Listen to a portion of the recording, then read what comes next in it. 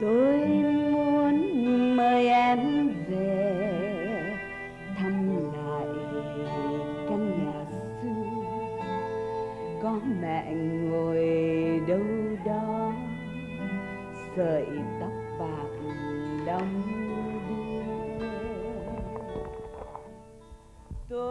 Sometimes I go wandering around at night and all these middle-aged men in the BMWs and Mercedes stop right in front of me, offer me a lift or a place to stay at night.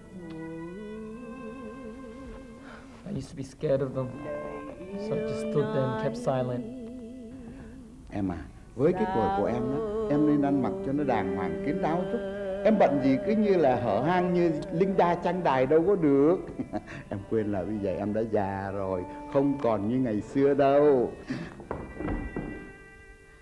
It doesn't matter. There are people who still want to hear me sing. Isn't that why you marry me because I'm a singer? Em lầm rồi. Em quên là tụi mình đã hứa với nhau là gửi tiền về cho gia đình sao? You mean your family? Không, gia đình của chúng ta, của anh cũng như của em. No, it's not. Your family is yours, and my family is mine. Em nói cái gì kỳ vậy? Gia đình của anh là của anh, mà của em là của em là thế nào? Anh không hiểu gì hết á. You know exactly what I mean. All these years that we've been here, how many times did we send back money to my family compared to yours? Ừ, thì à, em cũng hiểu là ờ, gia đình bên anh thì đông người, mà người nào thì cũng nghèo hết á. Cho nên, à mà thôi, bỏ đi, không có nói chuyện này nữa. Look, all I'm saying, are you coming or not? Không ai đi đâu hết trơn á. Vậy thì anh đưa em đến đó được không? Fine. I call a taxi then. Em thừa biết là tôi không muốn em đi ra ngoài đường mà ăn bận kỳ cục như vậy, nhưng không bao giờ em nghe lời tôi. Như thế là thế nào?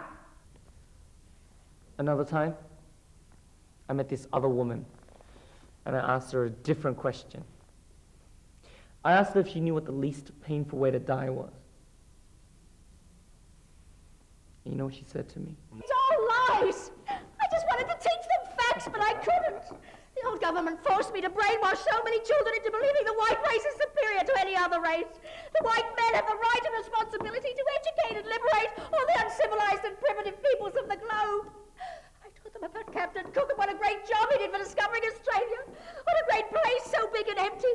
It was a great place for dumping all the convicts that England want. What a shock it must have been to discover the black men had been here before us.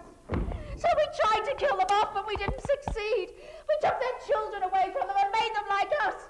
We taught them to wear clothes and live in houses like us. To believe that Jesus Christ is the Son of God and born of the Virgin Mary. And we were wrong. On behalf of all white people, I'm utterly and unreservedly ashamed. I apologize forthwith.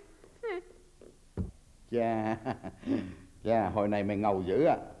Who said I was going to be involved with any gang? Why is it that when young people hang out with their friends, it's called a gang, and when you do it, it's called an organization? Mày chưa biết gì về Cộng sản đấy. Tụi tao làm việc có tổ chức, đàng hoàng, có chính nghĩa. Chứ đâu phải như tụi bay ấy, tối ngày lập băng lập đảng, rồi xuống à, banh bàn này, hả? ăn mì gói hút cần, để phá làng phá xóm. You spend all your spare time at your mate's place, planning on how to overthrow the fourth largest army on the planet. That's when half the Western world, that's the Americans, the Australians, all their mates couldn't do it. You think 20 of you are going to make a difference?